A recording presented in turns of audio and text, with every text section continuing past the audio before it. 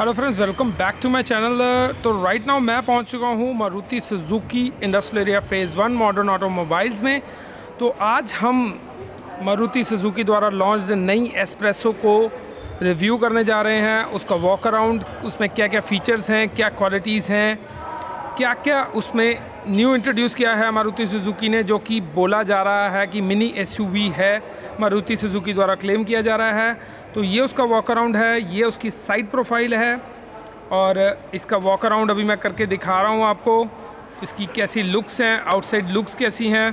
तो सिक्स इसके colour wise variants हैं और सिक्स इसके फीचर वाइज वेरिएंट्स हैं L X I standard V X I V X I plus manual transmission और ऑटोमेटिक गियर ट्रांसमिशन के साथ आते हैं। और साइड से मैं इसकी बात कर लेता हूँ हाइट है इसकी स्टैंडर्ड और L X I with thirteen inches tyre के साथ 1549 mm और 1564 mm है 14 इंचज़ व्हील्स के साथ और ये है इसकी आगे से बल्कि लुक और देख सकते हो आप, बहुत ही एक ज़बरदस्त लुक आ रही है। तो सबसे पहले मैं बात कर लेता हूँ इसकी इंजन स्पेसिफिकेशंस की। वन लीटर डिस्प्लेसमेंट के साथ आता है। और प्रोड्यूस कर रहा है 50 किलोवाट का पार और 90 न्यूटन मीटर का टॉक प्रोड्यूस कर रहा है, जो कि एक बेहतरीन है अपने आप में, अपनी सेगमेंट में बेहतरीन है। क्विड के कंपैरिजन में निकाली गई है ये। उसके बाद तो फ्रंट से आपको ट्विन चैम्बर हेडलैम्प्स मिल जाएँगे। बीच में इंडिकेटर्स भी इंसर्टेड हैं। और अगर मैं एसेसराइज वर्जन की बात करता हूँ तो उसमें आपको यहाँ पे क्रोम फिनिश भी मिलेगी। और आगे से प्रोफ़ाइल बिल्कुल एक महिंद्रा स्कॉर्पियो की तरह लुक देता है। देखो कितना बल्कि है और फ्रंट से काफ़ी बोल्ड और एस यू इंस्पायर्ड लुक आती है। और वॉक अराउंड अगर मैं यहाँ पर एसेसराइज वर्जन की बात करता हूँ तो यहाँ पे आप डीआरएल लगवा सकते हो। एसेसरी में एज ए एसेसरी लगवा सकते हो। और फ्रंट से बहुत ही एक डैशिंग और एक अपीलिंग लुक आती है इस कार की। और साइड से मैं बात कर लेता हूँ, ये वी एक्स प्लस वेरियंट है। तो इसमें आपको 14 इंचज़ के व्हील कैप के साथ आपको टायर मिलेंगे, जो कि एक, काफ़ी अपीलिंग है। एक, स्क्वायर शेप्ड में आपको मिल रहे हैं और ये कुछ इसकी सस्पेंशन है।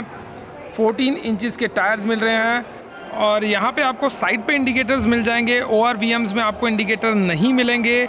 आपको टॉप एंड वेरिएंट में भी और ये आगे से कुछ वाइपर्स हैं यहाँ पर।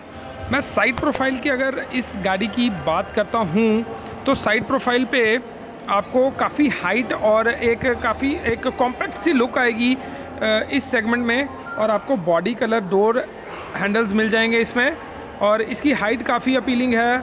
1564 mm है ग्राउंड क्लियरेंस की अगर मैं बात करता हूँ तो 190 mm का ग्राउंड क्लियरेंस है। ऑल दो ब्रॉस्टर जो प्रोवाइड किया है उसमें आपको ग्राउंड क्लियरेंस नहीं लिखी है तो 190 नाइन्टी mm इसकी जो हाइट है तो काफ़ी एक कॉन्फिडेंट फिगर है। बैक साइड से बात कर लेता हूँ तो आपको यहाँ पे आपको सी शेप्ड कुछ टेल लैम्प्स मिलेंगी आपको। और यहाँ पर एस्प्रेसो की बैजिंग है और पीछे मारुति सुजुकी की बैजिंग है। और यहाँ से साइड से आपको नीचे रिफ्लेक्टर्स मिल जाएँगे। और इसमें आपको हर वेरिएंट में आपको पीछे सेंसर्स मिलेंगे। पार्किंग सेंसर्स आपको हर वेरिएंट में मिलेंगे स्टैंडर्ड है। और यहाँ से एक अच्छी है, यहाँ पे आपको टेल लैम्प मिल रही है ब्रेक टेल लैम्प मिलेगी रूफ तो साइड से अगर मैं बात करता हूँ, इसकी लेंथ की तो ये 3565 mm इसकी लेंथ रहेगी और विर्थ इसकी 1520 mm रेंज इसकी वेरी करती है 3.69 लैक्स बेस स्टैंडर्ड वेरिएंट और 4.91 आपको टॉप एंड वेरिएंट पड़ेगा। This are ex showroom Chandigarh की प्राइसेस हैं। अब बात कर लेता हूँ इसके इंटीरियर्स की। सो so, इंटीरियर्स की लुक इस प्रकार से है। डोर्स के कंट्रोल पे मैं बात कर लेता हूँ। यहाँ पे आपको मिल जाएगा डोर अनलॉक और अनलॉक का ऑप्शन मिल जाएगा। और यहाँ पे आपको टॉप एंड वेरिएंट में भी मैनुअल ओ के कंट्रोल मिलेंगे। और नीचे आपको यहाँ पे वन लीटर की बॉटल होल्डर पॉकेट के साथ मैप होल्डर मिल जाएगा। यहाँ पे स्पीकर्स हैं। और अंदर बैठ के अब मैं इसकी बात करता हूँ। क्या कुछ ऑफ़र कर रही है? जैसे ही मैं अंदर बैठता हूँ तो मुझे एक सुप्रीम सी फील आती है और इसके जो मोनोटनी है मारुति सुजुकी की, उससे हटके इन्होंने कुछ इस बार देखने को मिल रहा है। सेंटर कंसोल दिया है। बहुत ही एक अच्छी लुक अंदर आ रही है। बॉडी टोन्ड आपको एसी वेंट्स मिल जाएँगे और सेंटर कंसोल भी आपको बॉडी टोन्ड मिलेगा। और जो स्टेयरिंग पे माउंटेड है कंट्रोल्स, वो आपको टॉप एंड वेरिएंट में मिलेंगे। ऑटो और कुशनिंग की मैं बात कर लेता हूँ तो कुशनिंग ज़्यादा तो मैं नहीं कहूँगा, पर इस सेगमेंट के हिसाब से कुशनिंग काफ़ी अच्छी लगी मुझे। और स्टीरियो माउंटेड कंट्रोल्स मिल जाते हैं आपको, इसमें ऑडियो और वॉइस कंट्रोल्स मिल जाते हैं। कॉल टेकिंग रिजेक्टिंग फैसिलिटी आपको टॉप एंड वेरिएंट ऑफ़र करता है। और आपको इसमें बॉडी टोन्ड एसी वेंट्स मिल जाते हैं। और, यहाँ पे आपको हेडलैम्प्स के कंट्रोल्स हैं। उसके बाद अगर मैं बात करता हूँ इसके सेंटर कंसोल सिस्टम की, यहाँ पे आपको एसी वेंट्स बॉडी टोन नहीं मिलेंगे।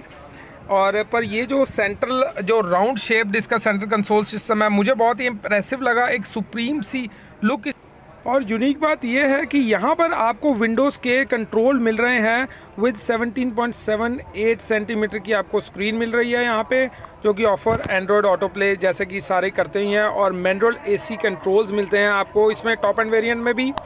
और नीचे की मैं बात करता हूँ, यहाँ पे आपको कुछ पर्स वगैरह रखने की जगह मिलती है और इसके साथ आपको यहाँ पे मिलते हैं कुछ कप होल्डर्स और five speed manual transmission gear box मिलता है आपको।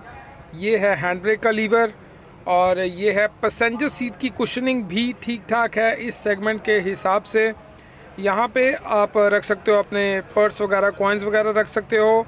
डुअल एयरबैग सिस्टम आपको ऑफ़र करता है सेफ्टी फीचर्स से और ये है ग्लव बॉक्स जो कि ठीक ठाक है। ज़्यादा तो मैं नहीं कहूँगा।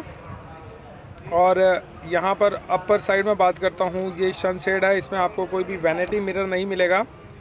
ये आपको इनसाइड आपको लैम्प मिल जाएगा कैबिन लैम्प मिल जाएगा और यहाँ पर दिस साइड सनशेड मिल जाएगा आपको।